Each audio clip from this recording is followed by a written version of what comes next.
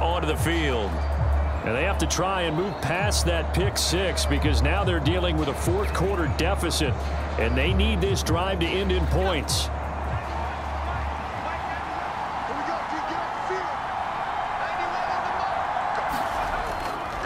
They'll start on the ground here on first down. And they're going to stop him right at the line of scrimmage. Just no cutback lane to be found whatsoever. Second and ten. We talk about defenders, specifically linebackers, keeping their eyes in the right spot. He had that eye down the entire time. And you know that's not easily done because they throw a lot of misdirection at you. They try and fool you and get your eyes in the wrong place. But you're right about that one. He correctly figured that one out and made a really nice play. And he'll be upended at the 28-yard line. Just a three-yard gain there. We know that old expression, it's not my night. It hasn't been his so far. I don't know if the legs are a little bit heavy. Sometimes having to hang out all day and play doesn't exactly play to your advantage, but it's been a tough go for him. And every time he looks up, somebody's there defensively. That was the same case on that play. To throw on third down, Raymond and that's going to be incomplete. The contact there enough to jar that ball free, and it brings up fourth down. On fourth down, the punt team is on as this is sent away.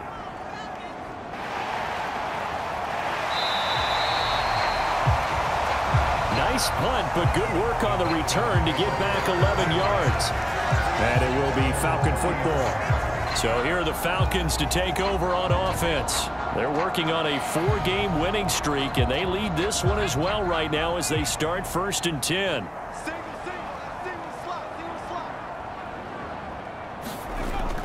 Throwing to start the drive. Rowe.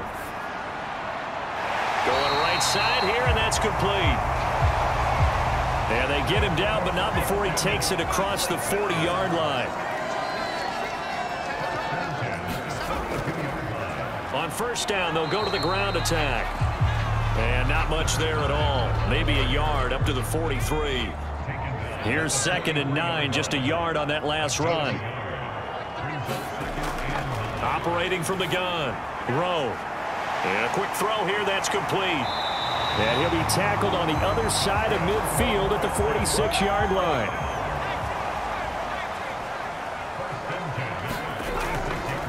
On first down, they'll go to the ground attack. As he's got this down inside the 40 to the 39. 83 yards rushing now for the NFL leader coming into this ball game. I'm guessing you'd say this is kind of the key here. Grind out some yardage, work on that clock, see if you can continue to tick it down. Definitely. You want to bleed things out at this point, right? Continue to possess the football, gain some yardage, and put the onus on the defense. Do they have to use timeouts? What are they going to do to stop you? You're taking charge.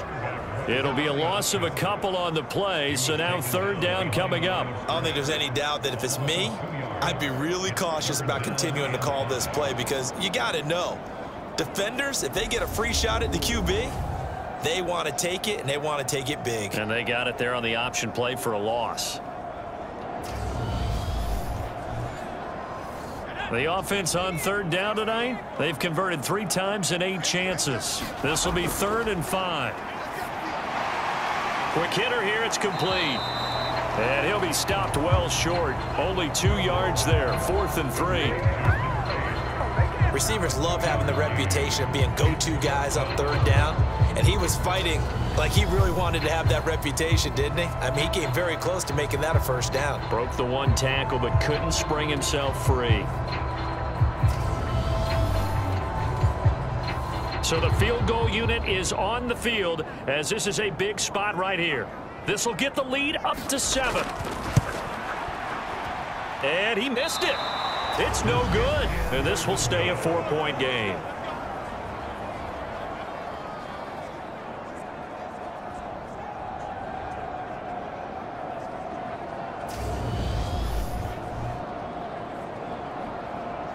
Now this offense back out and set to go for their next drive. Their defense was able to hold serve, albeit with a little help from that missed field goal as they settle in now first and 10. The Panthers out there and ready to begin their next drive. Well, they didn't fall behind any further thanks to that missed field goal, but still staring at this fourth quarter deficit. And they're going to get this down to about the 37. And here we are in the fourth quarter, partner, and watch them drive for what would be a go-ahead touchdown. And you and I both know this is where you need a quarterback who can keep his cool back there. Not just for himself, but to keep the rest of the team relaxed too. Line of scrimmage, the 37 on first and 10.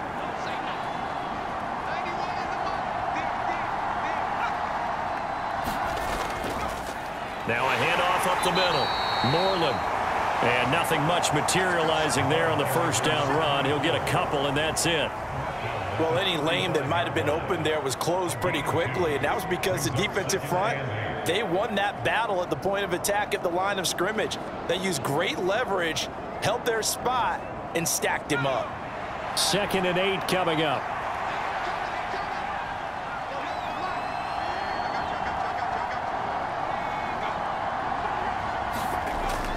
Looking to throw. Raymond. Got a man complete. It's Taylor. And that's going to be good for another first down as the tackle's made at the Falcons 14. A gain there of 21 yards. Tell you what, he's been able to put the ball in some tight spots all game long. That throw, no different. Yeah, a lot of people would call it a gutsy type of a throw. I think he looks at it as, I can do it, so it's not that big of a deal to me, and I'm going to keep firing. Here's a first and 10 at the 14-yard line. They'll try the left side. Moreland. And that play going absolutely nowhere as he's belted before he could get out of the backfield. That's going to go as a loss of six, and it'll set him back for second down.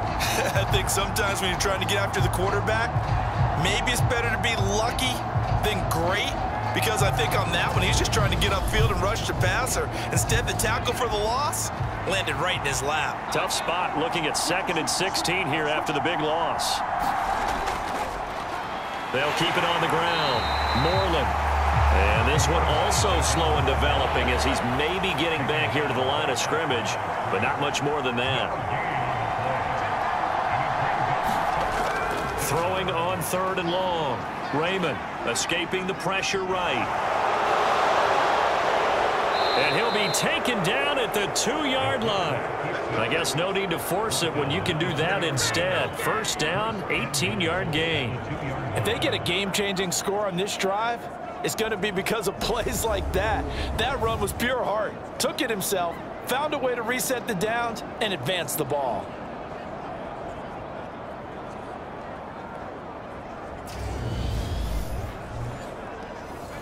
Only way to get the lead here, of course, with a touchdown, and that's what they're gunning for on first and goal. He'll decide to keep this once more, and he will take it across for a Panthers touchdown. It's their quarterback. His third touchdown of the game, 10th on the year. And the Panthers have taken a fourth quarter lead. Partner, wasn't that long ago that when I talk with these NFL coaches about different innovations in the college game, you can see their eyes roll and they, they just shut down right away. Don't bring me that Joe College stuff. Well, guess what?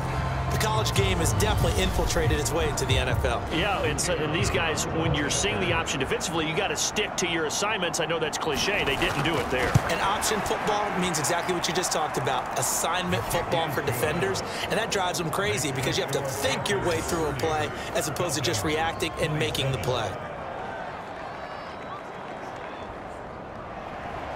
The Carolina kick team is out there ready to go, and they kick this one away.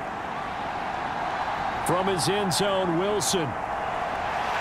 And they'll get him down right around the 25, actually the 26 officially, so a net gain of one there. And here now come the Falcons. And they will be looking to answer the touchdown their defense just surrendered. Still a good chunk of time remaining here in the fourth quarter and a chance to regain the lead in a tight one.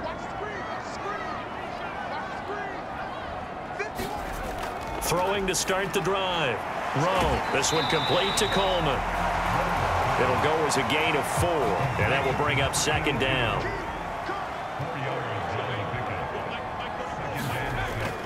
Back to throw. Rowe. And that'll be incomplete. Took a pretty good shot as he tried to pull that one in.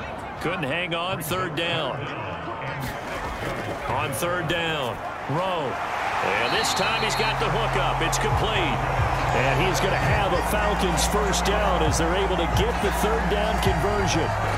Did you see that route the way that I did? I Yep. thought he was trying to get Yeah, that first. wasn't the first option. No, not it came off of that guy, the deep guy, and came underneath on the drag. Completed it very well.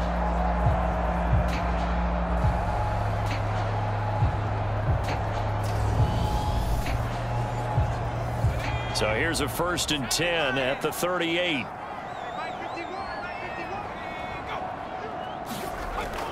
Looking to throw. Rowe.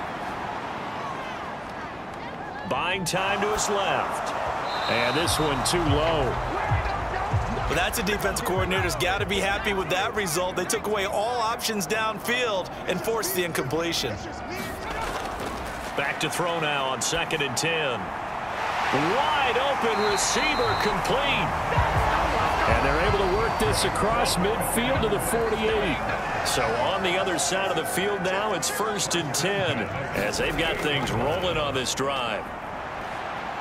And just no chance of turning the corner. He can only get back to the line of scrimmage.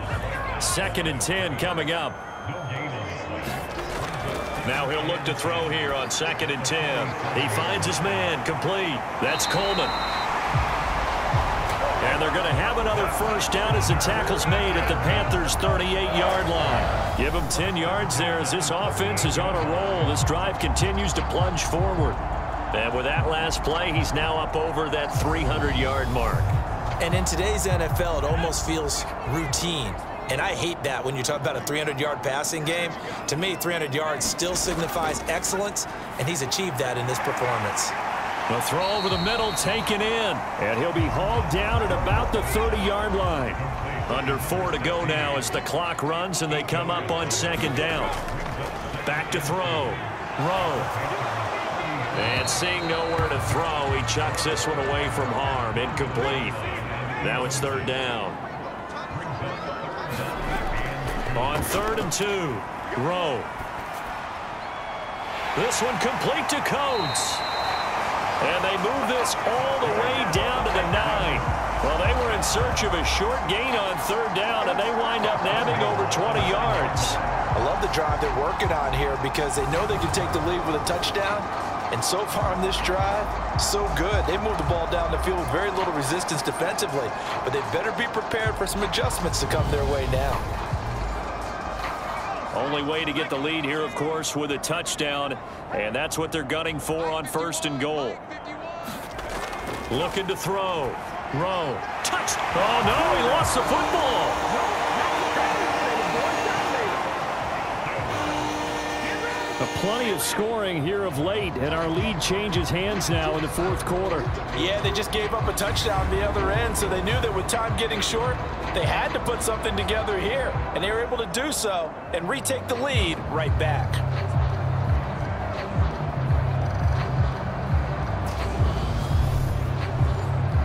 Extra point forthcoming.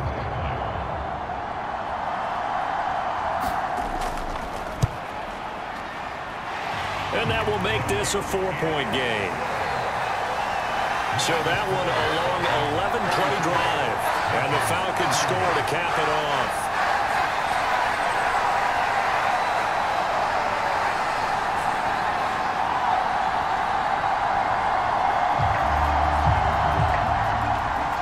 Atlanta's 11 ready to go, and they kick it away.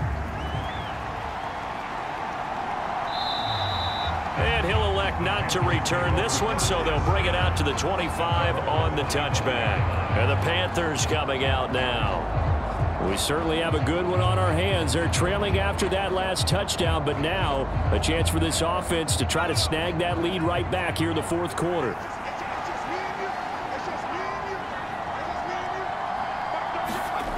On first and 10, Raymond flushed out right. And he's going to get a good gain of nine here up to the 34. Maybe a good spot to take a shot. Here second and a yard from the 34. Back to throw. Raymond over the middle complete. It's Santos. Six yards the pickup, and that's a first down. Looking to throw. Raymond. Eluding the pressure right. It's incomplete. Took a shot, couldn't connect. So second down and 10. Once again, they'll go from the 40. Throwing again. Raymond. And he's got his favorite target yet again. It's complete. And he'll get it out a couple yards shy of midfield at the 48. So it's Panther football as we welcome you back. They face a critical third down now, needing a score here in the late going. They'll look to throw. Got his man complete over the middle. That's Murphy. First down now, but that clock rolling. Back to throw. That's into the hands of Morton over the middle. And he's going to be taken down at about the 33. The Panthers got to go quickly. They're moving with a sense of urgency right now. Throwing on first down, but this one winds up to be incomplete. After the incomplete pass here now is second and 10. Back to throw.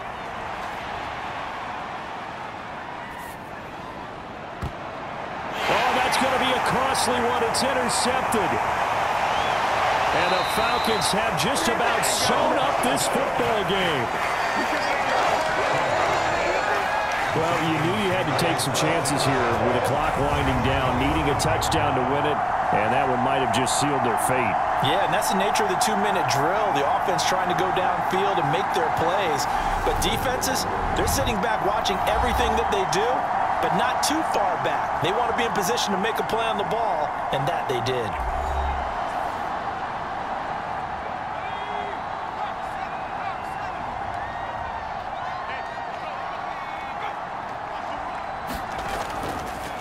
They'll start this drive out on the ground. And he's going to take this ahead for right around three yards, but no more than that. Second down.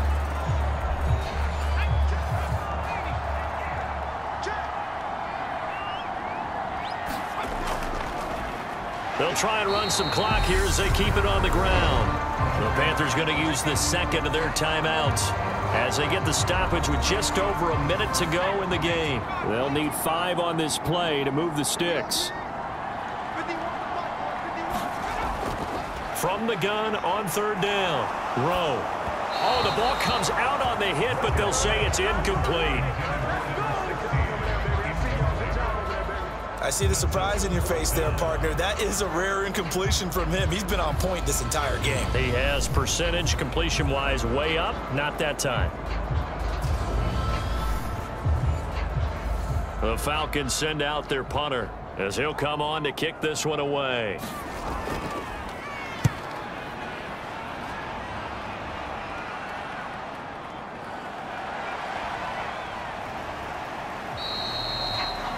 46-yard punt, eight yards on the return. And it will be first and 10 as they take over. So now the Panthers down on the scoreboard. A little under 50 seconds to go. How will this thing pan out? We'll watch as they come up on first down.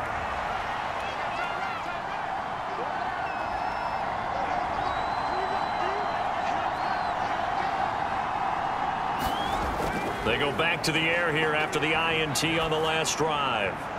And that is incomplete. Work with me, partner. Take a deep breath because that's what they're doing down the field now. That incompletion allowed them to exhale a little bit. Get in the huddle, kind of scan the crowd, see if any celebrities are here. Relax a little bit as they start this big drive. He'll look to throw. Firing quickly here, and that's complete. Clock now under 30 ticks and running. He's back to throw. Throw left side complete. That's Murphy. And he is going to have a Panthers first down as they're able to get the third down conversion. And with just inside of 10 seconds to go, they'll burn their final timeout. Nine seconds left. Back to throw again. This for all the marbles. And oh, that one nearly intercepted. That would have sealed it. Instead, it'll be second down. One final shot. They'll look to throw. He's going to let it go again. And it's incomplete. So their final drive comes up empty. And with that, the ball game is over. What a game we were treated to in this one. And then on that final play, they had a chance. They had the ball just beyond midfield for one final shot, but couldn't get it done, and they suffered the loss. Yeah, and you mentioned how they had a chance on that final play, and getting it to midfield gave them that opportunity, hoping they could find their way to the end zone and make that miracle happen. A really good ending to an entertaining contest, though. So for the Falcons, their strong September has carried over to October as they move to 5-0. And they'll get a few extra days to savor this one before they take on the New Orleans Saints. Meanwhile, for the Panthers, they drop below 500 to 2 and 3 with a loss. And they'll look to get back on the beam next week as they host the Tampa Bay Buccaneers. That'll do it for us. I'm Brandon Gaudin alongside Charles Davis. Thanks to our entire crew as well. We'll talk to you next time. So long, everybody.